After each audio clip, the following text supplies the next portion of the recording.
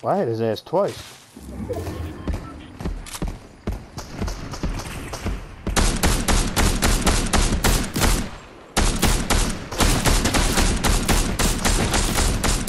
Behind them.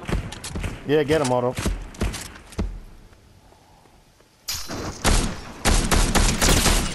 Oh, oh! Oh! I gotta clip that! Wow. Oh! What happened? Oh! You wanna know what happened? You gonna have to you gonna have to watch the clip. Dapat, dapat ba? Alright, hold on.